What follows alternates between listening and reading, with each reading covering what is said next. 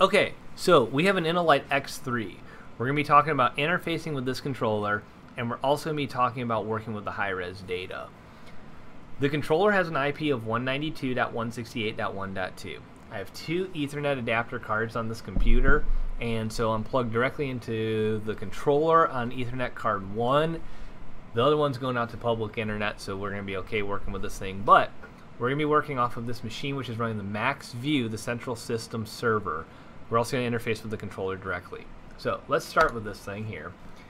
Everything that we're going to do has to be done in Internet Explorer. Actually, that's not technically true, but for the MaxView we will. For MaxTime, MaxTime is the controller software that runs on the controller.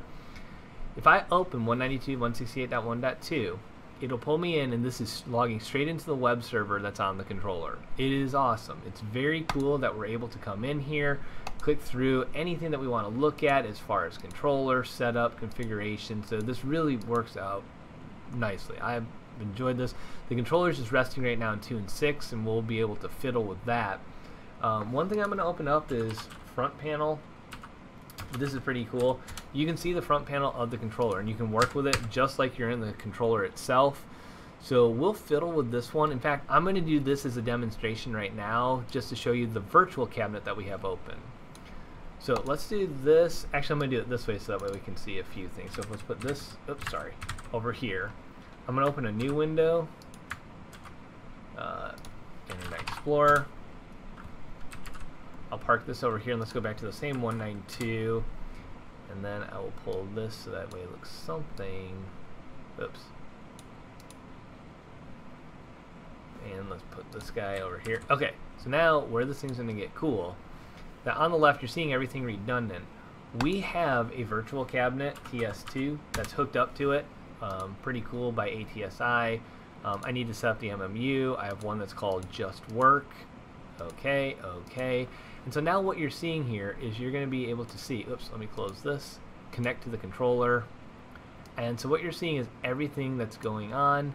Um, currently there's no calls on this. I'm going to put in call on 2 and 6. And so on both this screen over here on the left, you see the calls that are coming in. On the right, there's calls on this screen.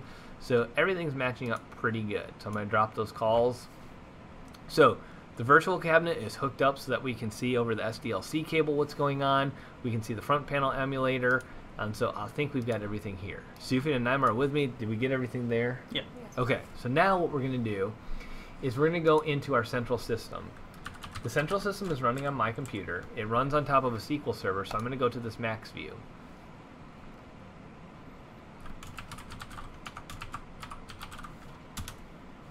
Okay inside of MaxView, this is what we're able to see. As you zoom at different levels, it's kind of neat that you're able to see different pieces of information. And all this shows you is the status for the mainline phase, I believe. Um, there's different things that you can do with the legend as far as if I do this legend and pop out, um, this is pretty nice. There's a lot of different things that I can click on. I think it's going to be, it tells me controller's running free. This displays as far as patterns running free. Any preemption, there's nothing going on uh, time sync. So this right here is pretty nice to be able to see these icons. As I zoom into different levels, you'll be able to see. So that's a middle level, and then when I zoom in even more, I'm going to get, and let me come in here. This is where I'm going to start to get a lot of information. I'll probably come into about this level to be able to see what's happening. This is the central system. You can manage all your controllers from here. Let me go ahead and just demonstrate that this is in fact working. Let's put in a call on phase 3. So detector call on 3. And so you're going to see over here on the central that we're going to do this. So everything would be looking the same if we were in max time. Same deal. I'm currently running phase 3 with call on there, but we're working in max view, the central system. So I'm just going to pull everything back to drop that call. I'm pulling once a second. So I'm going to come back to 2 and 6. I'm going to drop the calls on here. And so this is all working pretty good. So what we're going to do now is start talking a little bit about the data. Um, in here, I can right click. There's lots of things I can do. The first thing I'm going to do is go to the system databases. Under the system databases, I'm going to do a full upload now. I'm just going to call this video demo and upload it. There's about 71 things it'll do, so it's going to march through this. What it's doing is it's pulling everything off of the controller into the SQL server that this MaxView sits on top of.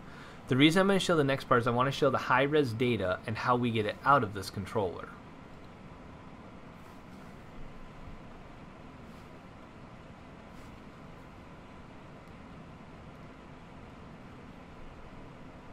Now, one issue that we're going to have is we just changed the time zone on this inside our SQL server. It's still going to have stuff from the previous 12 o'clock hour for when we were running GMT minus 5. Since we're GMT minus 6 now and we're in the noon hour, we're going to have some strange events that's going to be hard for us to see exactly what's going on, but we'll do our best for this. So I'm going to click Done, and a couple things under here.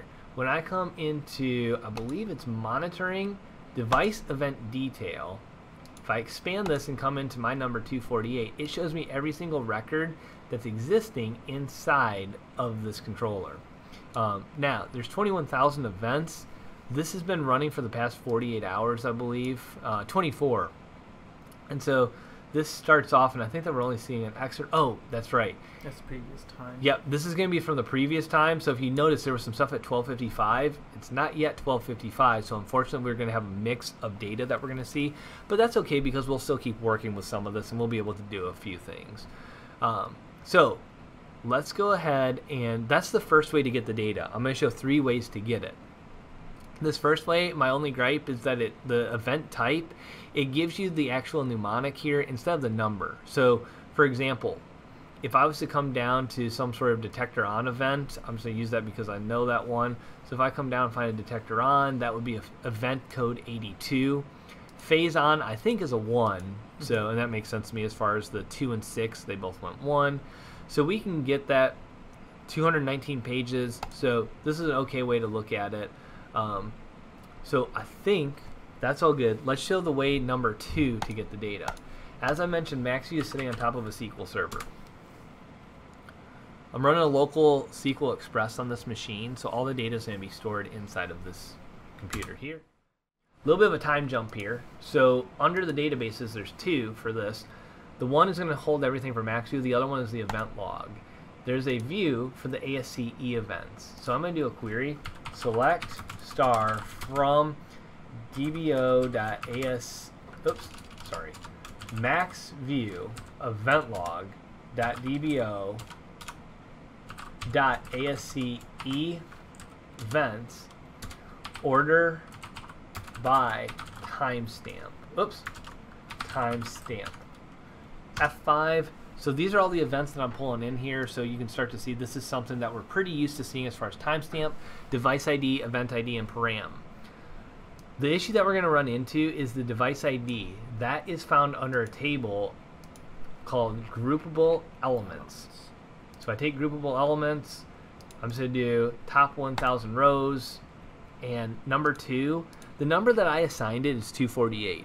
MaxView doesn't really care. They're going to store it in their own system in here. So their own ID inside here is going to be a 2. So when you come back to our central system, my number that I have here is 248. And so you can number this for a commission number or however you would want. So this is the second method that we've shown for how to get the high-res data off of this.